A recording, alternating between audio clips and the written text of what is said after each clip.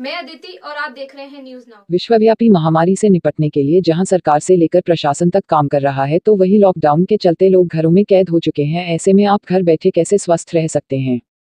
और इस corona virus संक्रमण से अपने आप को कैसे बचाव कर सकते हैं, जानते हैं योगाचार्य दीपक पांडे के मुताबिक कोरोना वायरस संक्रमण से लड़ने के लिए लोगों को अपनी प्रतिरोधक क्षमता बढ़ानी पड़ेगी, जिसके लिए योग करना बहुत ज़रूरी है। योग के माध्यम से अपने शरीर की बीमारियों को दूर कर सकते हैं और संक्रमण से अपना बचाव कर सकते हैं।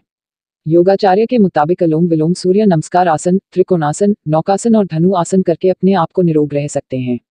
योगाचार्य दीपक जोशी के अनुसार अनुलोम विलोम से सामान्य रूप से होने वाली सर्दी, जुकाम और सामान्य बीमारियाँ दूर हो जाएँगी और आपके शरीर में फैलने वाले संक्रमण खत्म हो जाएगा।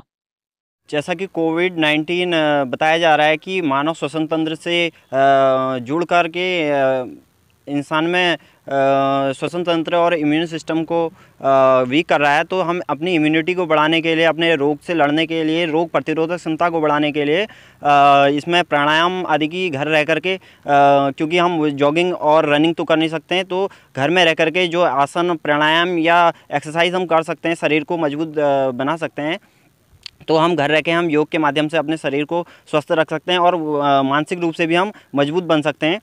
तो श्वसन तंत्र के लिए मैंने प्राणायाम बताए। इसी प्रकार से हम जो लोग डायबिटीज़ या पेट से कॉन्स्टिपेशन वगैरह गैस आदि, समस्या, कई प्रकार की समस्याएँ हैं तो इसके लिए हम मंडूकासन कर सकते हैं। मधुमेह के लिए बहुत ही लाभदायक है और साथ ही हार्ट के लिए हम धनुरासन और त्रिकोणासन, ये सहज जो प्राणायाम है इसके साथ में आसन जो है ये, इन्हें हम कर सकते हैं और स्वस्थ रह सकते हैं।